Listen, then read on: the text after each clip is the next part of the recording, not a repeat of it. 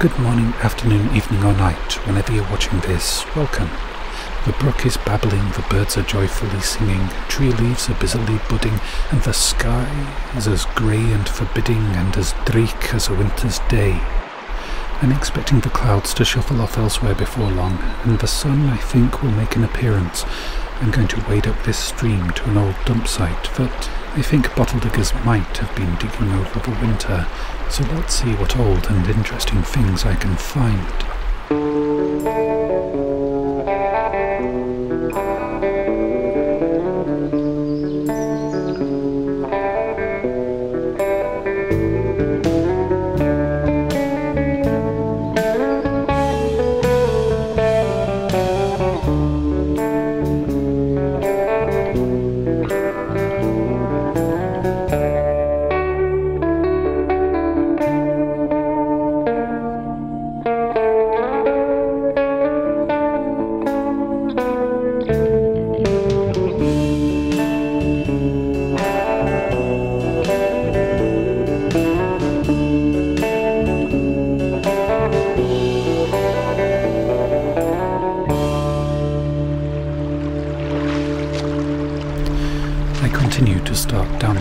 Certain old dump sites, even on the fifth visit to it, because in this area the hills are steep, the bottle diggers are messy, and dug things often find their way into the river days, weeks, months after first dug.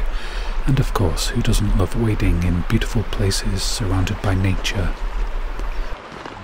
Glass and pottery fragments are how I found this site. I followed them upstream. The pieces got bigger and the breaks sharper, less river-worn, and eventually I started finding intact bottles and jars, and soon after found the site. That was 18 months ago now. I'm filming this in April 2022. It was a very good day 18 months ago finding a new old dump site to explore, and a revisit. Can it ever be as good? I hope so. Signs of scraping. Could be a dog, could be a mudlarker. This beach is regularly visited by both. Whether a site will be good for a visit or not depends on the weather and how many other people know the site and visit. I've told a few people where it is, but most of them don't live local, and the one that does live local, I'm happy if she finds good things there. And if I don't find good things today, then that's less editing to do. Oh, looks like footprints. Might mean someone else has waded upstream from the beach, which could be playing, could be exploring, might not have gone as far as the dump site, or might have done. It's a good thing I've got another dump site in mind to visit today, if this one is played out.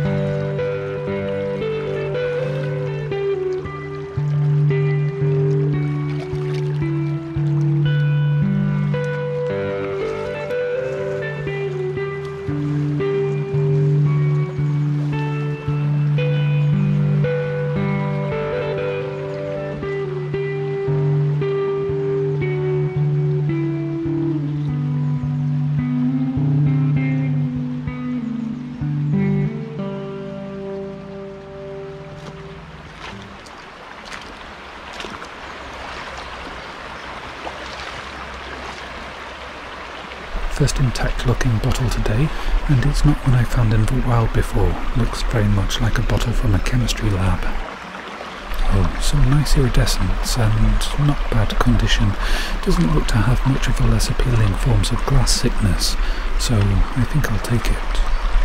Hmm, it's got a slight crack, so I think I'll still take it, but there's a fairly strong chance it won't survive the homeward trip. If it does break, it could be a candidate for kintsugi treatment, depends how well it cleans up.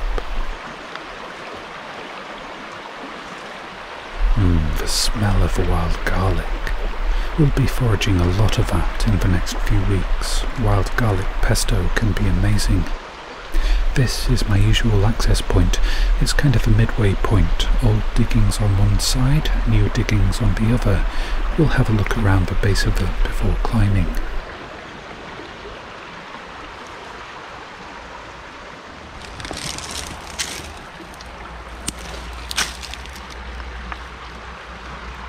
Nothing much of interest at the bottom, just jars and broken things.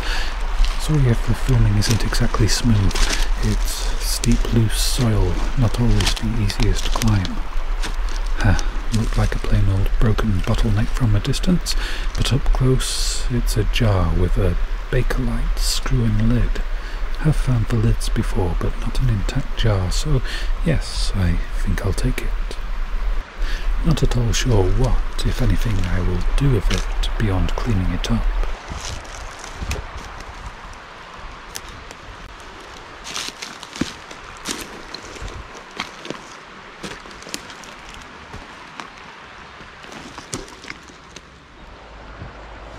I put my finds down, my rucksack down, got my finds bag out, and, as I have learned through experience to do, I moved my rucksack and had a look where it was.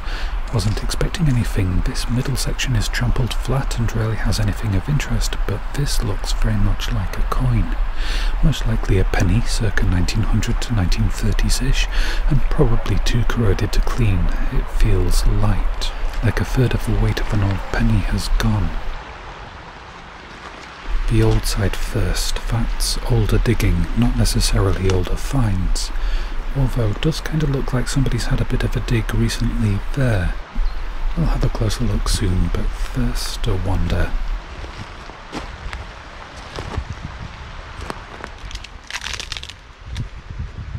Oh, something of interest. Looks like a glass rod, which may have been for stirring chemicals, or it might have been ingredients for bead making something I hope to give a go someday. And there's no obliging patch of sunlight for to see the glorious coloration, but if you watch mudlarking videos you'll know what cobalt blue glass looks like with light shining through it. Haven't seen many videos with people actually finding glass rods though. I've filmed finding them fairly often, but perhaps other YouTubing mudlarkers don't find them, or don't include them in the films because they don't find them interesting enough. That's a question as well as supposition. A few YouTubing mudlarkers do watch my videos on occasion.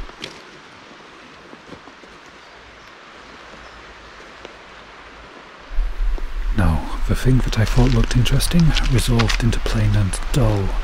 So down and round, marvelling along the way at the vibrancy of the plant life, full of spring, vim and vigour.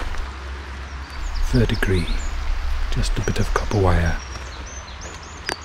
and this, something that once was probably brass, taken for a hypothetical future video. Oh wow, that's almost certainly not a valuable jewel, emerald green set in rusty iron or steel. I know the back isn't see-through, I'm holding it up in the slim hope that light will shine through a bit of it. There, a flash of it. It is a lovely colour, not too sure if it was decorative, like a brooch, or perhaps a reflector for a bike. Any other ideas, anyone?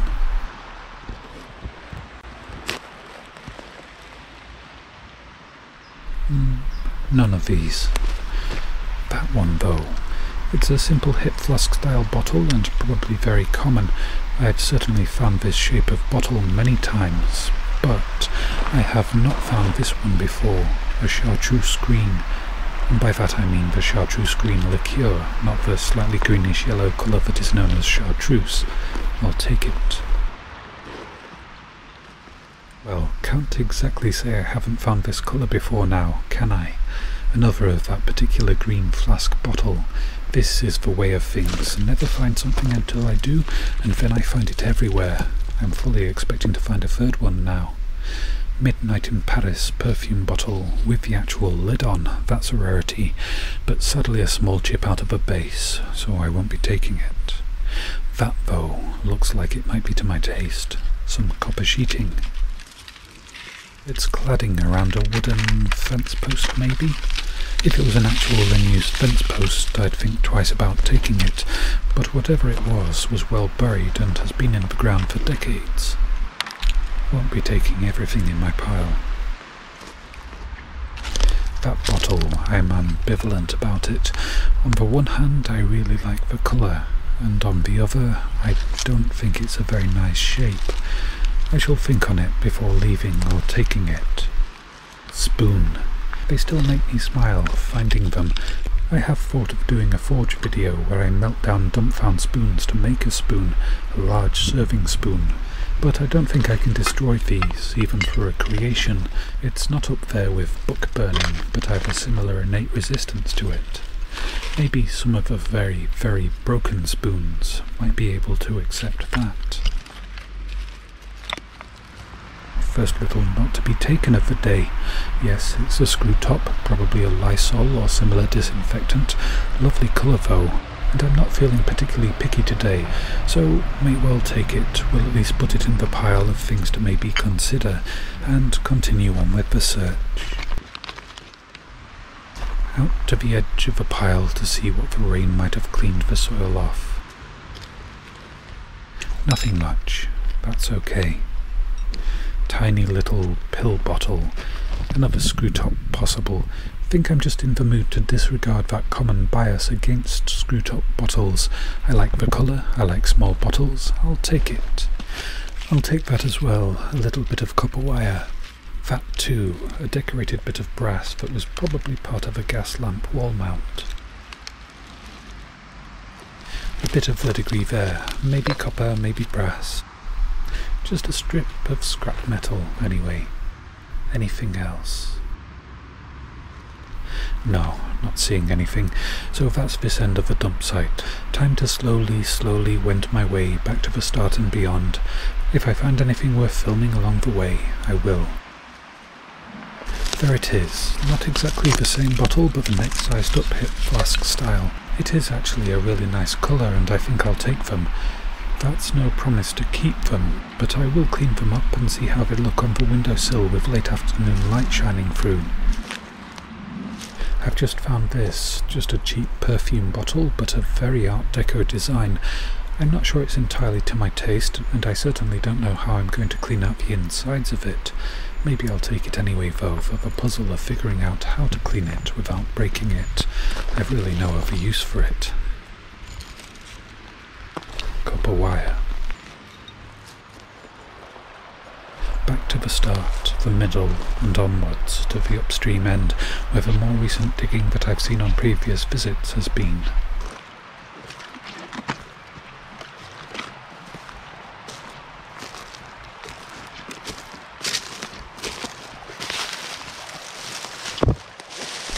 Sorry about that, somebody's dead Christmas tree hitting the camera. Well, flip that, reverse it, it was me that walked into the tree.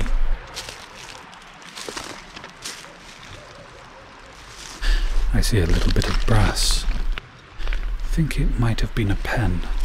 Cool, in the bag it goes.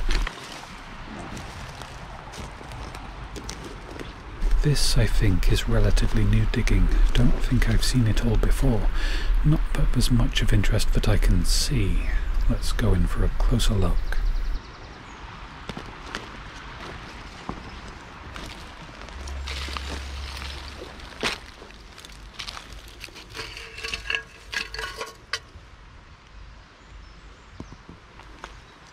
Blue bottle up there. Ha, look darker than milk of magnesia bottles usually look, maybe just because of the soil around it. Little bottle, small and intact, that's a maybe and a maybe not.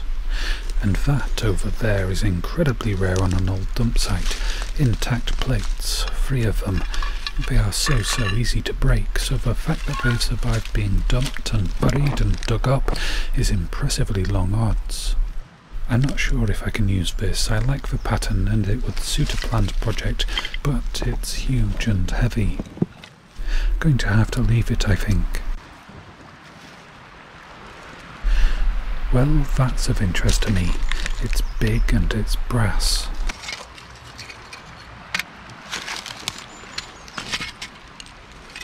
I think it's a frame for a mirror, or half of one. The other half is there, with this tree limb in the way.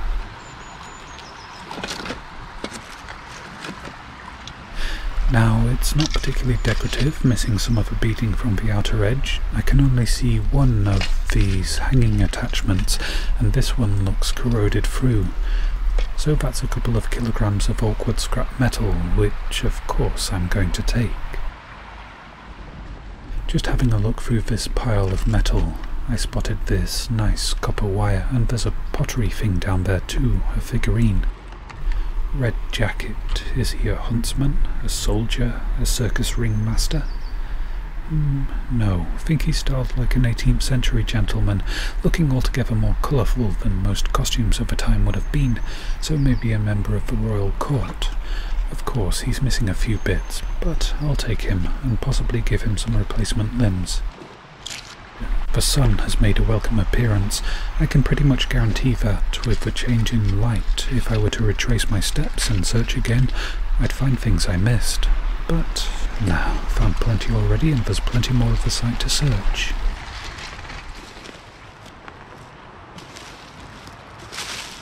That, seen it before, and I know it's only a thin skin of brass on a rusted iron bedstead, but I want it. I probably do have enough brass now for all of the smelting videos I've got ideas for, so it's not really an entirely healthy sort of want anymore. Should I continue taking it if I don't really need any more? Well, I'm certainly going to. The easy to extract and obviously unwanted.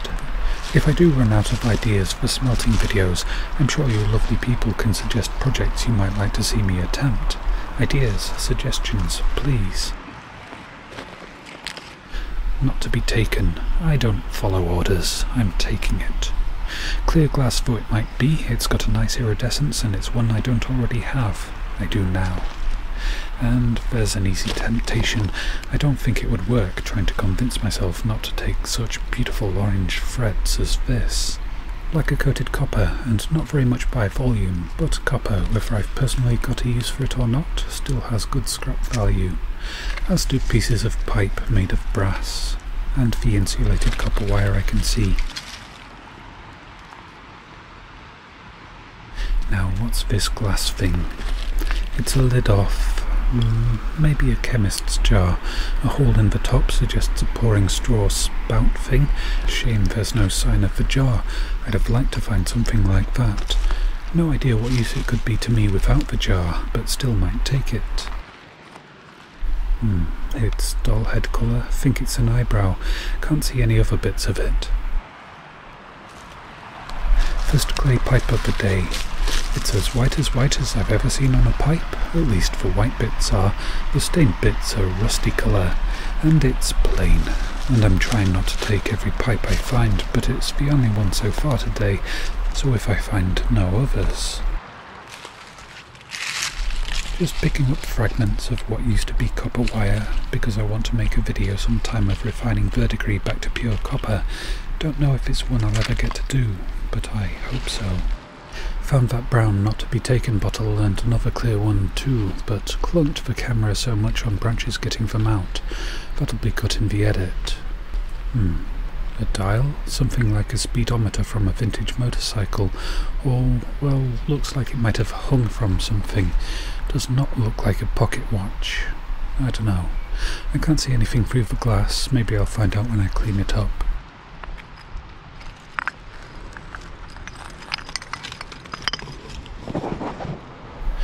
Well, this doesn't look like much of a bottle. A mineral water, maybe Ramsden's of Halifax.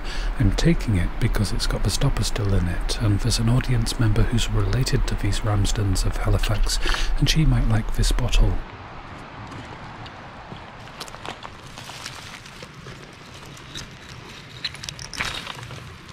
Nope. Plain.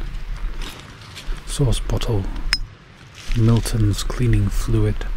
Nah, none of these. Vervo, some bluey green of verdigris. Ah, it's brass wrapped round a rusty iron bar, sometimes very easy to remove, but sometimes a sharp and perilous operation. And if it turns out to be the latter, I promise myself I will leave it. That is copper sheeting, very thin, very light, but still copper. I see a ginger beer bottle. Can't imagine its whole and been left, but stranger things do happen. Ah, no, quite a bit of it missing. Oh well. I hope it was broken during the dig and the missing pieces around here somewhere. That would be an easy fix, and I haven't found an intact one of these out in the wild. One day maybe, but I'd be quite happy with a kintsugi'd one. Not seeing the missing piece though, I'll put it on the pile and keep looking.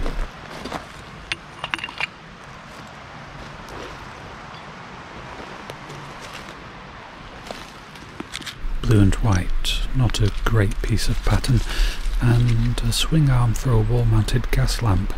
Quite a common find for me, and this one is relatively plain, but on the pile it goes regardless.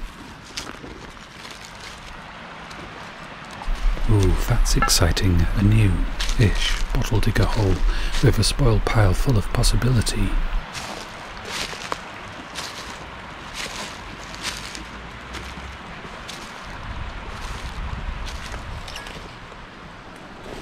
I accidentally filmed something very easily identifiable, part of the scenery which would help people locate this place.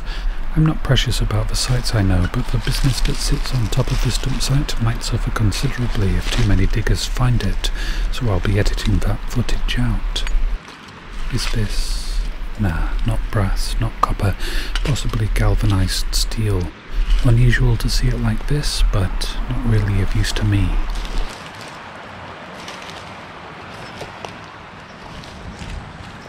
Partial piece of a plate with an image of a bird. I think it's a golden pheasant. Lovely. I love pheasants. They're terrible at hiding and they run like little dinosaurs. Only ever seen one golden pheasant in the woods around here, many of a more common variety.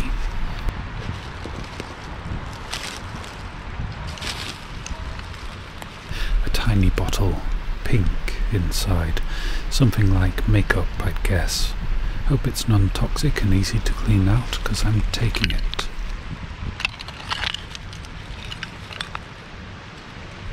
Might take it. Might also take this copper sheeting. Bottles beneath a rich seam of sadly quite boring looking jars. And this is going to take two hands to get it, but get it I will. There's a glorious green bottle poking out, Let's take a look. Oh wow, slightly tapered obelisk-shaped poison bottle. Oh, it's screw top and doesn't say poison, poisonous, or not to be taken. But it looks like it's in nice condition, and I haven't seen one of these before in any of my dump site explorations. I'm kinda surprised the bottle digger left it. It was so very nearly completely buried that I guess maybe the bottle digger didn't ever actually see it. Bottle diggers watching, is this something most diggers would take? Or something most would leave because it's screw top. Me, I think, I'll happily take it. Little brass thing, I feel like I should know what this is, or was, but I can't currently bring an ID for it to mind. Anyone?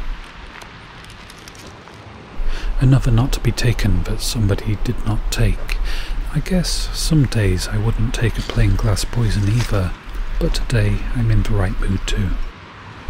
And corner of a glass battery sticking out. Okay, that's actually probably in restorable condition, which makes it a firm yes. I'll take it. It's not for me to restore. There's plenty of people who want these to either restore or use the glass cases for stylish terrariums, I'll reserve this for the guy who once asked me to come back to this site and pick up a dry cell battery that I'd filmed, so that he could restore it. Not sure this will be to his taste, but he's got first dibs on it.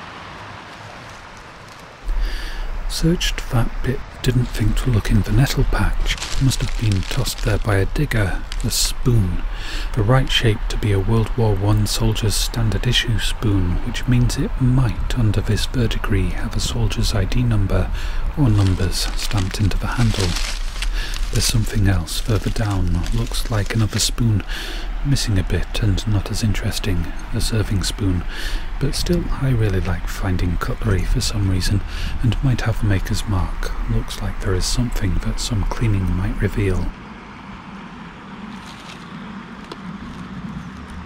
Into the bag it goes, and onwards, on a mission to collect all the piles of stuff I've made. Looking as I go, of course, different angles, different routes through the site. Hopefully spot something good I haven't already spotted.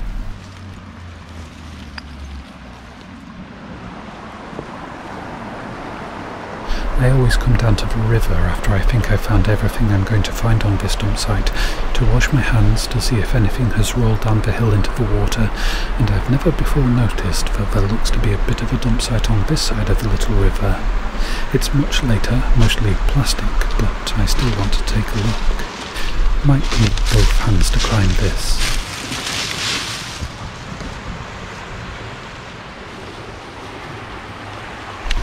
Plastic seems to be mixed ages, 70s, 80s, but goes all the way to the modern, which probably means that this is illegal dumping.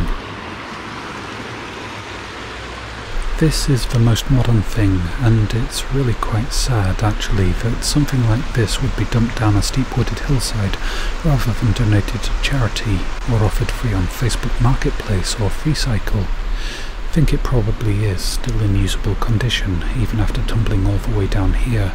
Up there is a farm track, goes to a few farms. There's a car parking or car turning spot too. Guess it was chucked from somebody's car boot.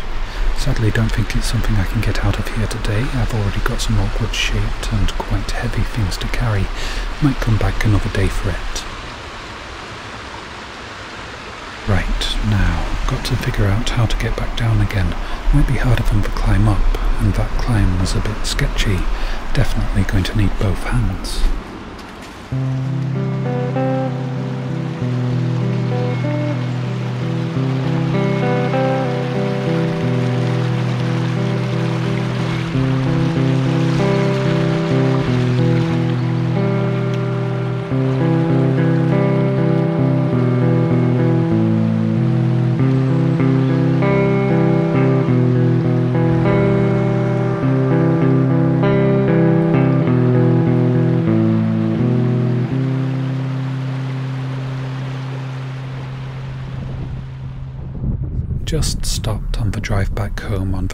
This hill for to film the sunset.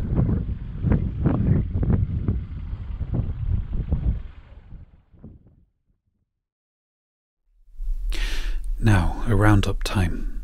I was actually a little surprised that day visiting a dump site that I thought may well have been picked clean of fines by other more local mudlarks and dug to death already. I had another site in mind for visiting that day and I was more hopeful for that one, but you've still got to check to make sure your guesses are correct, and instead of it being played out, I found a fair amount of finds to my liking, enough that I could, and obviously just did, make a video. I did, of course, visit the other site too that day and filmed another video there. That'll be two or three videos away. That day was about a year ago now, and last week I did the very same wade and search for finds, and both sites are now ones that I consider dead. Well, dead for mudlarking filming purposes, possibly dead for bottle diggers too, very much alive for plant life and wildlife, and I'm perfectly okay with that. I mean, they were good sites. I found some nice things, shot some nice video, made some entertainment and relaxation content, and made some memories. And yes, there is a part of me that's sad at losing two places to film and find things in one day. But I got into this hobby to explore and find new places, and repeated visits to places that don't change much does make me feel a bit like I'm making the same videos over and over again, and that is not a good feeling for me. So hopefully it will motivate me to find some new places to film. Now the finds. Another nice piece of cobalt blue glass rod. I really do hope sometime soon to try making some beads from this stuff. I have a MAPP gas torch now. I've just purchased some bead making mandrels and bead release. I don't really have a jeweler's bench or the right setup to make beads easily. I am probably going to have many failures and the beads will be quite fragile since it's old glass and I don't have a kiln to harden them once made, but I'm still planning on giving it a go. If I really like bead making, I can try getting all those things later. Bottles. Well, a lot of people don't take bottles if they're screw top or if they're plain colour, and that's fair enough. Some days I don't either. Some days I successfully resist bottles and come away with one or none. But that day I found the plain not to be taken as appealing, the small Lysol shape not to be taken as appealing, and this obelisk-shaped green poison bottle very appealing indeed, screw top though it may be mostly because it's one I hadn't seen before and partially because it's a glorious emerald green. I have since found another one and took that as well, so now I have two. These bottles, an olive green colour maybe, they're not a shape I usually take, but I don't often encounter the colour and I liked it on the day. Still do kinda like them, with light shining through them. I don't know which, if any of the other ones, I shall keep over a long term. The glass battery, I have offered it to the gentleman who took a dry cell battery I found and restored it, along with two other dry cell batteries. I know I could strip it out and sell it for a terrarium, or leave as is and sell it to someone to restore, but I'm just happy to offer it to somebody I've met who might appreciate the project. Back down this end of things. This fine dandyish gentleman isn't really to my taste for figurine augmentation, at least not at the moment, so he'll go into a box of potentials for if and when inspiration strikes.